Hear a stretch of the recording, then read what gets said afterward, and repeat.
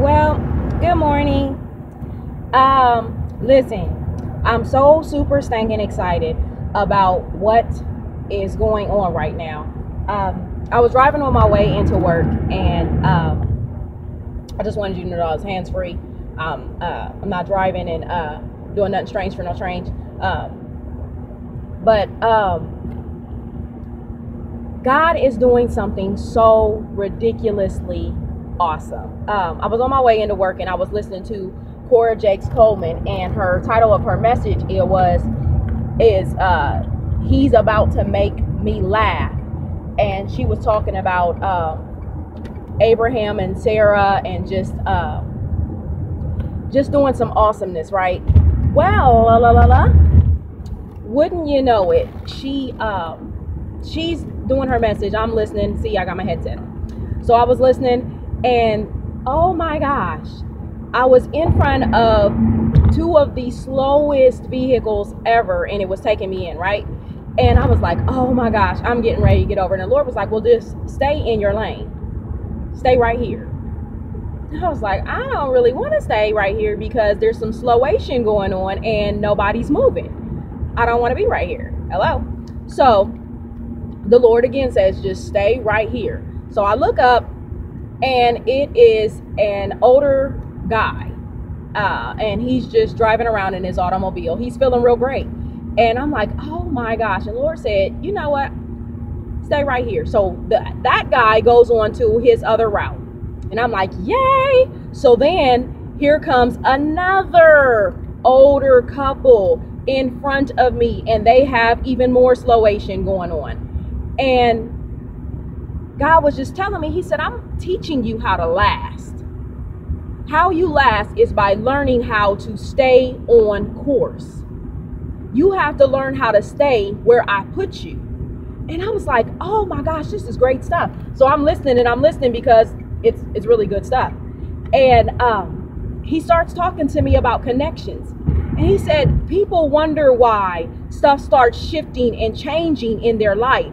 And it's because they keep on changing lanes. They keep on moving out of the place that I told them to be in. And I was like, oh, okay, I get it. And he said, if your connections, if the relationships that you have with your connections is greater than your relationship with the God that has given you these connections, then you're about to get a rude awakening. There's going to be some shifting going on, and there's going to be some rearranging because God is going to realign some of the things that are going on in your life because God is a jealous God. He wants our complete, total attention. And guess what? In this season, we need Him to have our complete and total attention. It is about to go down. I know you see my post about watching it work. It's all working for our good. And it is about to go down. I know some people been like, I've been waiting, I've been trusting, I've been praying. Ah, okay, I get it. Me too. Hey, we've been doing this thing together. And guess what? I'm watching it work. Sometimes we get in a place where we're like, oh my gosh, I'm I'm I'm trusting, believing, and then we start doubting. It's not a time to doubt. It's a time to go straight in to the king's court. Remember Esther? When Esther was like, listen, guess what? I'm really not really cut out for this. I'm not going to the king unannounced, and he didn't invite me. Well, guess what? She went anyway.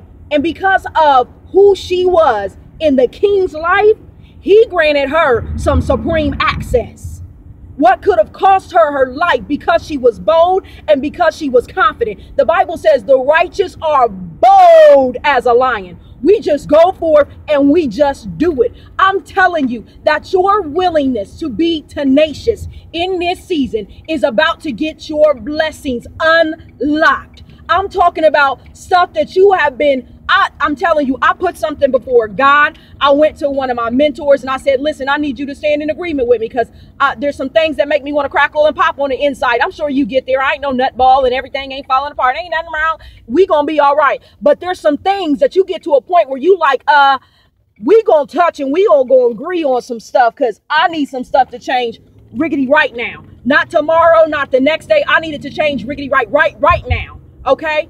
And I went before the Lord. I know they went before the Lord with me. And I watched something switch overnight. I watched God begin to, I mean, it was like God pushed it into overdrive. And He went in and He did some stuff for me. I'm not talking about this little itty bitty teeny weeny short short stuff. I'm talking about my dad went into overtime for his daughter because he loves me. If he loves me, he loves you too. Because the Bible talks about how for God so loved the world that he gave his only begotten son. He didn't give up his son just for me.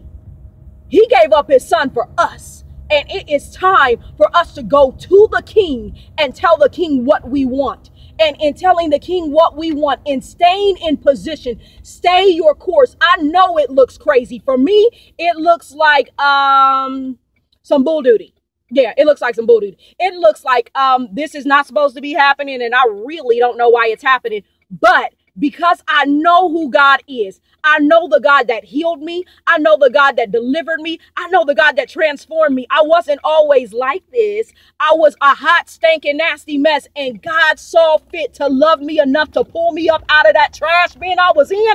You can't tell me my God won't do some stuff. You hear what I'm saying? And I just want to encourage you and let you know that it is about to go down. If you can stretch your faith to this next place, take your faith up a whole nother notch and watch God move. I'm telling you, it's about to go down.